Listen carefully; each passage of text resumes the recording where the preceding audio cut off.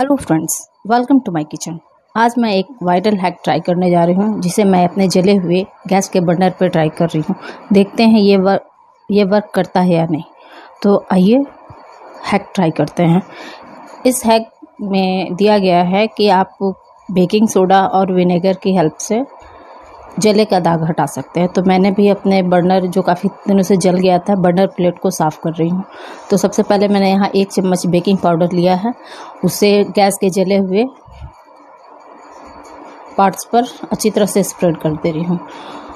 पूरे जले हुए पार्ट को हमें बेकिंग पाउडर से ढक देना है। उसके बाद मैंने यहाँ एक चम्मच वाइट विनेगर लिया है, जिसे हम चाइनीज़ खाने में इस्तेमाल करते हैं। उसे भी हमें गैस बर्नर के प्लेट पर डालकर बेकिंग पाउडर को अच्छी तरह से गीला कर देना है ताकि ये आपस में रिएक्ट करे। इसे मैंने क्या किया है कि स्कॉच ब्राइट से हल्का रब कर दिया है ताकि पूरे दाग पर अच्छी तरह से फैल जाए। इसे दाग पर अच्छी तरह से फैलाने के बाद हम इसे पाँच मिनट के लिए छोड़ देंगे, जिससे कि दाग पर ये रिएक्शन ना कर सके। पूरे बर्नर पे हमें इसे अच्छी तरह से रब कर देना है। ताकि सारे जले हुए दाग को ये कवर कर ले। उसके बाद हम इसे स्कॉच ब्राइट के स्क्रब से रगड़ के साफ़ करें मैंने यहाँ स्कॉच ब्राइट का का पुराना पीस लिया है, क्योंकि नया पीस लेने से क्या होगा ना कि वो स्टील पर थोड़ा सा दाग आ जाता है। तो मैंने पुराने से ही रब किया है और रब करने से ये काफ़ी हद तक साफ़ हो गया है।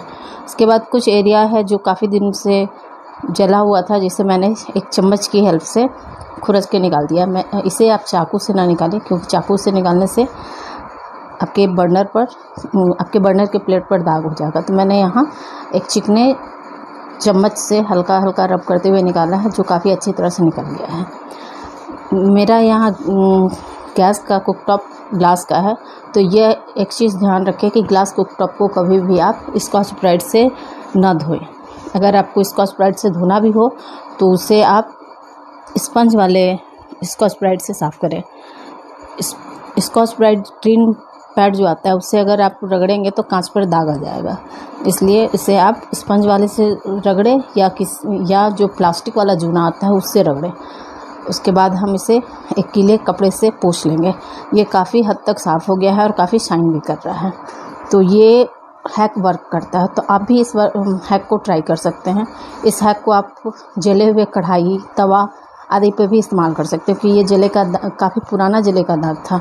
का मैं ये गैस कुकटॉप लगभग दस साल से इस्तेमाल कर रही हूँ और रेगुलर इस्तेमाल से हल्का इसे साफ़ करने के बावजूद हल्का दाग रह जाता था लेकिन बेकिंग पाउडर और विनेगर से, से साफ़ करने पर ये काफ़ी हद तक साफ़ हो गया।